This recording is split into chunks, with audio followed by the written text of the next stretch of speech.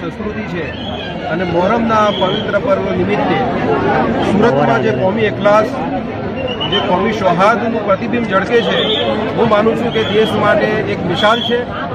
દર વર્ષે જે હિન્દુ મુસ્લિમ એકતાની સાથે સમગ્ર સુરત શહેરની અંદર જે તાજિયાઓનું જુલુસ નીકળે છે અને એનું સન્માન કરવા માટે હિન્દુ સંતના મહાન સંત સ્વામી અમૃતાનંદથી લઈને પોલીસ કમિશનરની સાથે ભાજપ, કોંગ્રેસ દરેક પક્ષના નેતાઓ, સમાજના નેતાઓ અહીંયા ઉપસ્થિત રહી છે.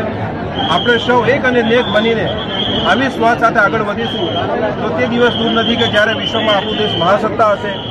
વિશ્વગુરુના સ્થાન પર ભારતને વિરાજમાન કરવા માટે હિન્દુ, મુસ્લિમ એકતા ખૂબ જરૂરી છે. આજે પંદર વર્ષથી ગુજરાતમાં ક્યાંય કોમી દંગાઓ નથી.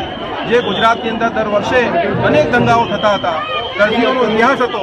આજે કરફ્યુ એક ભૂતકાળ થઈ ગયો છે.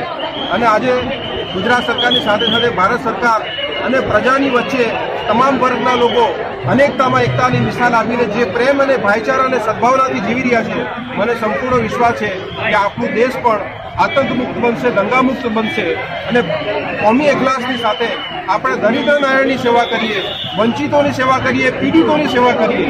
અને ઇમામ હુસેનના જે કુરબાનીના પવિત્ર સંદેશો છે કે જ્યાં અન્યાય થતો હોય જ્યાં નિર્દોષ લોકો પર જુલ્મ થતો હોય, એની પડખે આપણે ઊભા રહીએ અને આપણે સૌ એક અને નેક બનીને આગળ વધીએ એવી અભિલાષા વ્યક્ત તહેવાર નિમિત્તે આગળ પોઈન્ટ પર સુરત શહેરના મેયર શ્રી માનનીય પોલીસ કમિશનર શ્રી તથા અન્ય સર્વે આગેવાનોની ઉપસ્થિતિમાં જે પ્રથમ દસ તજી આવે છે, તેને સન્માન કરવામાં આવે છે.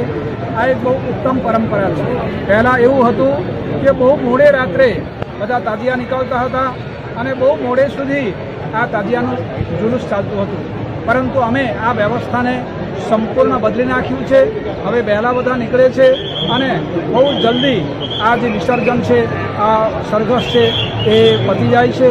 માટે હું બધાને ખૂબ અભિનંદન આપું છું કે આ રીતે સુરત શહેરમાં ઉત્તમ વ્યવસ્થા થતી રહે અને સાથે સાથે બધા જ કોમના લોકો હળી મળીને દરેક તહેવાર ઉજવે અને ભારતભરની અંદર એ કોમી એકતાનું જે નિશાન છે મિસાલ છે, એ આપણે બતાવીએ.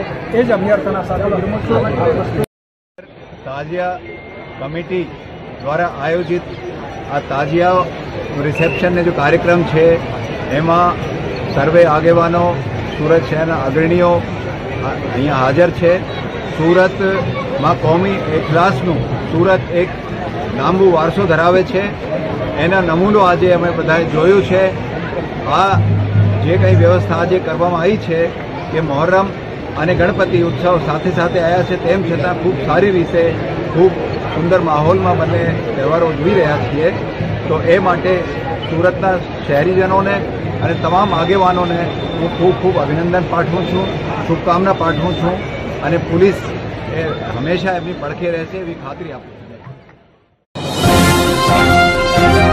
Thank you.